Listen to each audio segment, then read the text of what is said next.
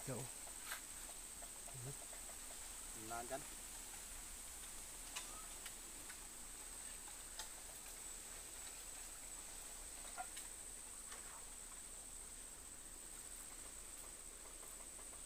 Mga pagulihin siguro yung mga isang kilo lahat oh. Mm. Sarap yan, ano oh. Paksyo. Oh. Yung iba doon oh, bumaba na oh. Tinatawag yung mga ano. Sabi mga kapatid, Yan. ano, usa. Yan. Usa. Oh. Huliin ko yung usa. Oh, dalawang usa. Oh, ay. Hindi pala.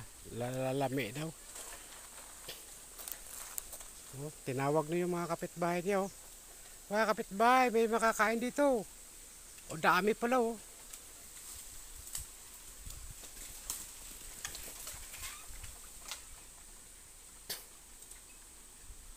Mga kasuter, mayroon ditong sa bundok, mayroong isang bahay dito. oh. Walang tao. Yan. Yan. Yung mga kambing ng ilaga. Saka nakahuli kami ng limang baboy ramo. Yan o. Pakita ko sa inyo. Yan, lima. Limang baboy ramo. oh. Sige, hagisan mo pa. Walang na makain dito. Anong ma- makakain yan mga yan? Eh, puro buhangin lang to dito eh. Ano? Dami. Hagisan ko ng sigarilyo. Baka maninigarilyo mga to. Oh, kapatid. You, you see? Your favorite? Marlboro.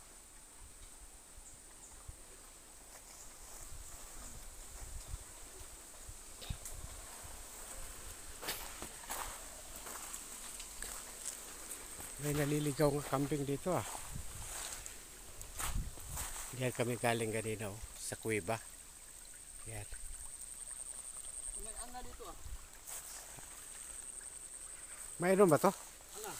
Saan ah, nga? Yan. Oh. Saan? Yan oh, dawa. Hindi mo na anga. Anga yan bay. Kuhan yan ba yung tawag sa amin na Yan oh. Eh, bay, iba yung anga. Ayun oh, bato pondo siya. Lapad ang ulo an lapad ang ulo niyan eh. Yan oh, may isa oh. Saan? Lapad. Yan oh. Kalimutan ko pangalan yan eh. Hindi po ilabo. Dikit sa bato yan eh. Hmm. Anga. Maraming klase yan bay. Basta may nakapit yung luguhan. eh paano hagisan mo? Ikaw lang magkain-kain eh. Hmm. Hagisan ko tong ano, malaki para mabulunan tong yung isda na to. Hmm. Agawan niya.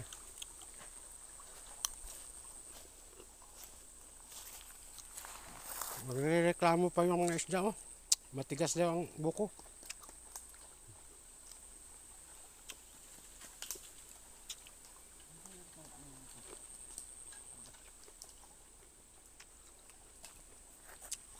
Huwag kang pagpasobra dyan, bay.